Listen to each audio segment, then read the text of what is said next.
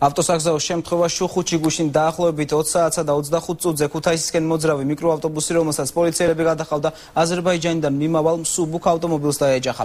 არიან დაშავებულები ისინი სასწრაფო სამედიცინო დახმარებამ ლანჩხუთის საავადმყოფოში გადაიყვანა.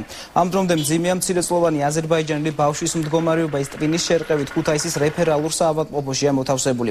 მშობლებს და სამართალდამცავებს კი მსუბუქი დაზიანებები აქვს. მომხდარზე საპატრულოს და სამაშველო სამსახურის თანამშრომლები კომენტარს არ აკეთებენ. ალიევა ნარგიზი 73 წელია. ზოგადად დაჟილობა და პოლიტრავა ძიმია. ორი ბავშვი, ძმა.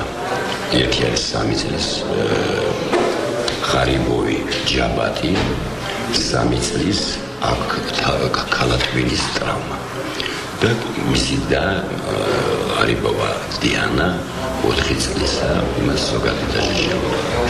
სამართალდამცავები 4 ადამიანია დაშავებული, მაგრამ მძიმე ტრამები არ არის.